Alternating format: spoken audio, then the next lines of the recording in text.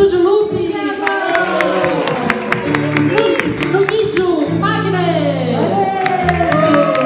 A gente queria agradecer muito também o apoio da equipe técnica aqui no Céu Capão Redondo. Muito obrigada.